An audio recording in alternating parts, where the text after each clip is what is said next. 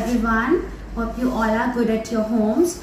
Uh, so as you all know holidays have started. So we have decided some project work for the kids. So कुछ worksheets हैं जो दूसरा जो हमारा sheets uh, हैं वो सिलेबस uh, से रिलेटेड है और ये just art work project work है जो बच्चे सिर्फ़ बच्चों के एंटरटेनमेंट और एंजॉयमेंट के लिए है। So the first sheet is paste mention colour paper on the rainbow या आप ये रेनबो बना हुआ है शीट पे तो आपने एस सच से यहाँ पे नंबर्स गिवन है. One two three four five six seven eight and five number ये है.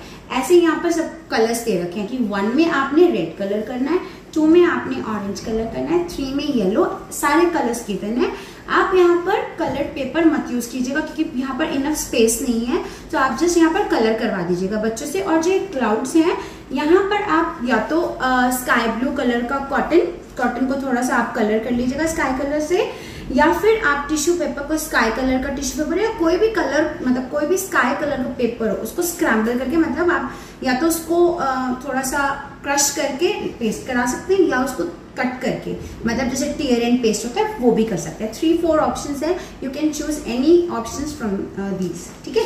The next worksheet is related to the you have given some shapes above green blue uh, sorry uh, circle square uh, heart and start so जैसे जैसे जिन पे colours दिए गए हैं जैसे circle पे ग्रीन है तो जहाँ जहाँ सर्कल्स है you have to colour them green जहाँ पर स्क्वायर्स है उनको ब्लू कलर करना है. You have to colour the squares with blue colours ठीक है?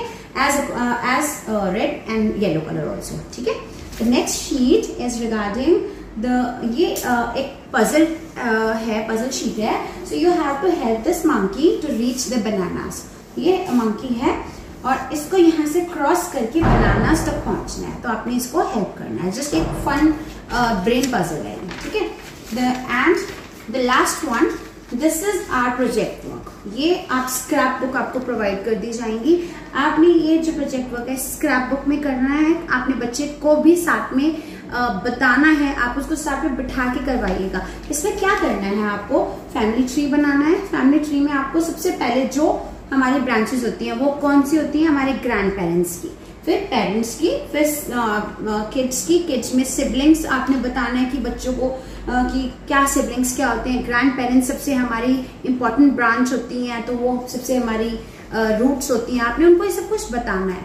तो आपने स्क्रैप बुक पे इसको बनाना। आपको रेफरेंस के लिए पिक्चर दी गई है। आप गूगल से भी इसको सर्च करके किसी भी तरीके से बना